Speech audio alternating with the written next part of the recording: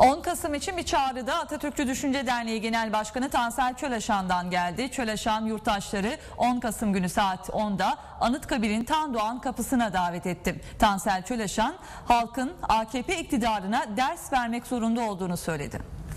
Ve saat 10'da Tandoğan Meydanı'ndayız. Anıtkabir girişindeyiz. Arkadaşlar bu aslında eee birey olmanın onurudur. ADD Genel Başkanı Tansel Çolaşan İzmir'deki 10 Kasım çalışmalarına katıldı. Anıtkabir'e bekliyoruz. Anıtkabir kayıtları buradan yapılmaktadır. Başbakan Tayyip Erdoğan'ın Anıtkabir'de sap gibi duracak mısınız sözlerini hatırlatan Çolaşan, yurttaşların 10 Kasım günü saat 10'da Anıtkabir'in Tandoğan kapısında olmaları için çağrı yaptı. Böyle tanımladılar. Oraya gidiyoruz sap gibi duruyoruz dedi. Orası neresi? Kuruluşu simgeleyen, kurucunun yeri.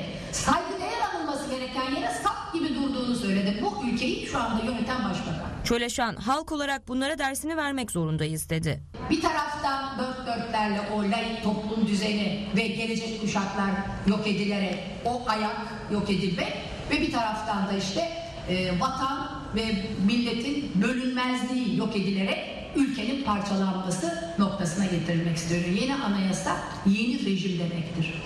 Bu noktada halkın tepkisinin 10 Kasım'da da devam edeceğini umuyoruz.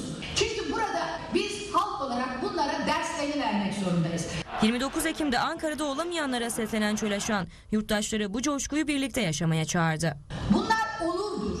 Çünkü burada bulunup da oraya gitmiş olanlar bilir ama gitmeyenler o coşkuyu görmek için 10 Kasım'da mutlaka Ankara'da olsunlar. Bizler çiçeğimizi